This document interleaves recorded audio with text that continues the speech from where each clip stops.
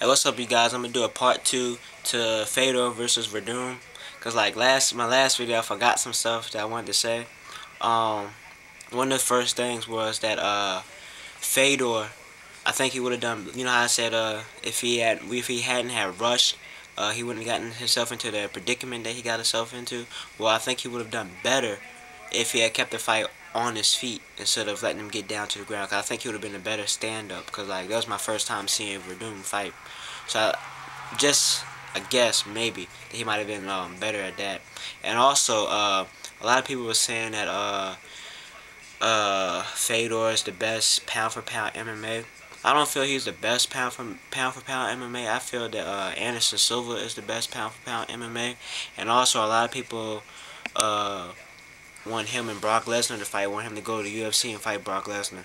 If that was to happen, I think, uh, no doubt in my mind, I think Fedor uh, will beat uh, Brock Lesnar. To me, Brock Lesnar is really a, a good for nothing.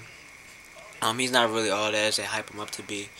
Um, but like I don't blame uh, Fedor for going over to uh, to UFC because like they say that uh, he wanted a percentage of the pay-per-view and UFC and Dana White didn't want to give him the percentage of the pay-per-view.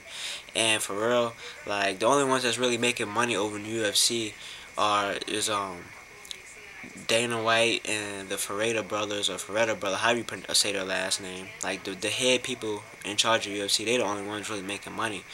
Cause like uh UFC 114 without the bonuses, Rashad and and uh Quinton, their paycheck was two hundred fifty thousand dollars. Like, that's nothing.